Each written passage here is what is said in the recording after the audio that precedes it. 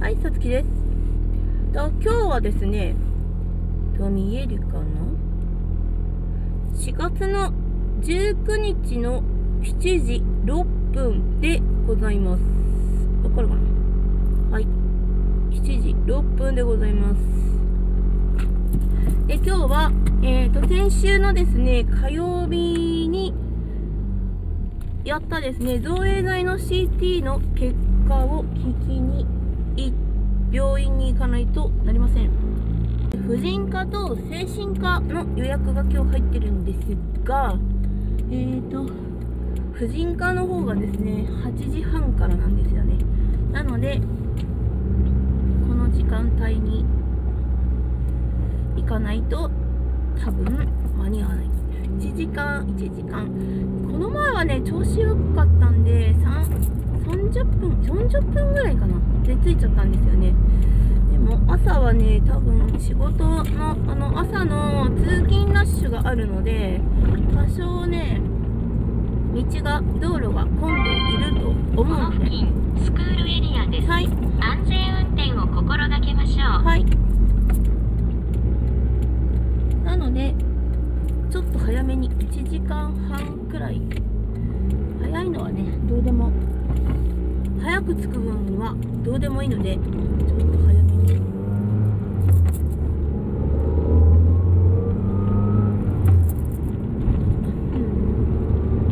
こんな時間に走ら車を走らせるのは久しぶりでございます。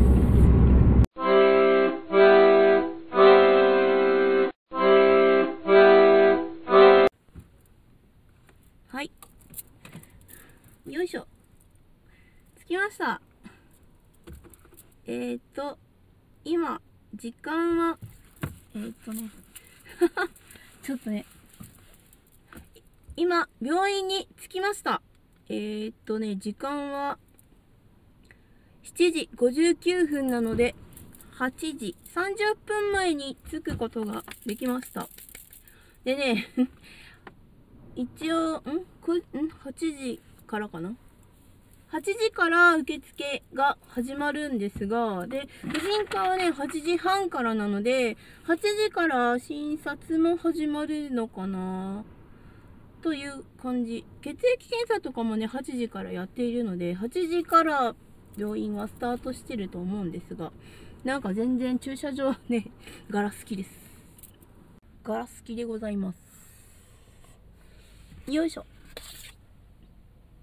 かなり空いてる感じでございます。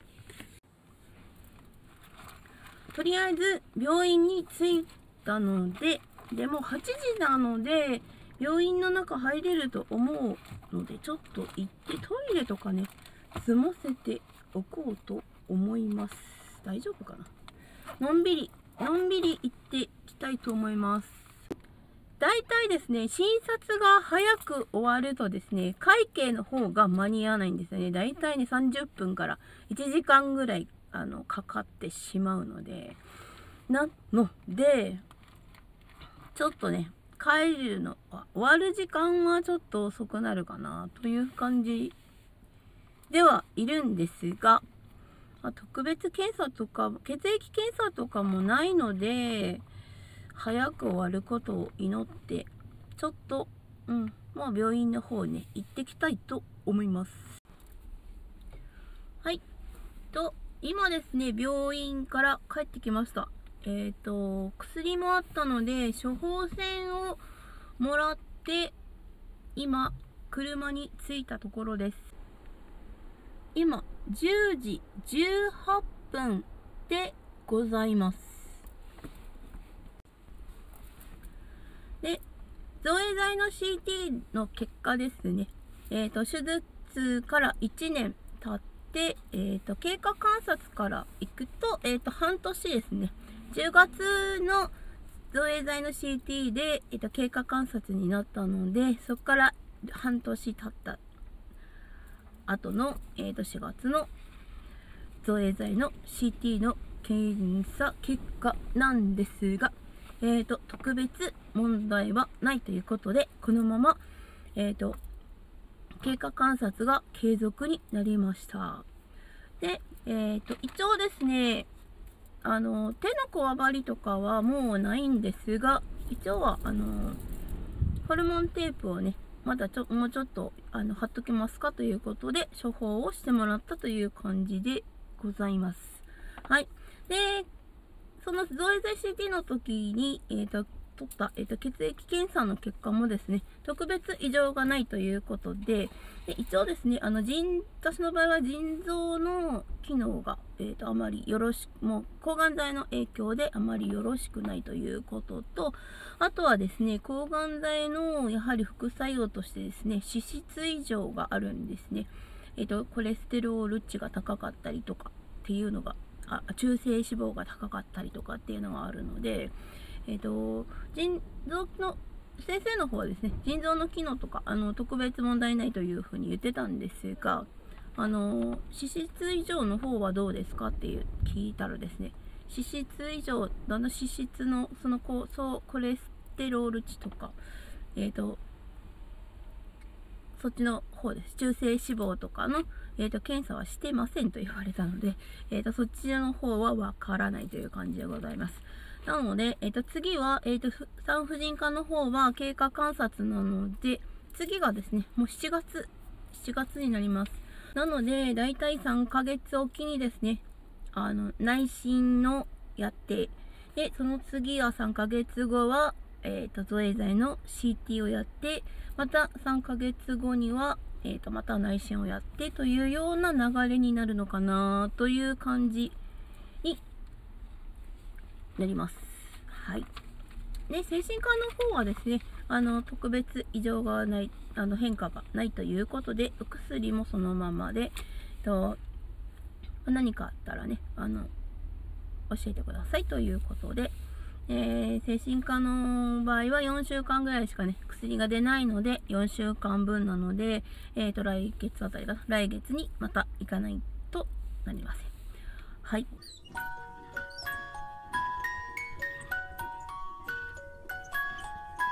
で、今日はですね、4月の19日なので、去年のね、今頃はまだ入院をしていたかなっていう感じでございます。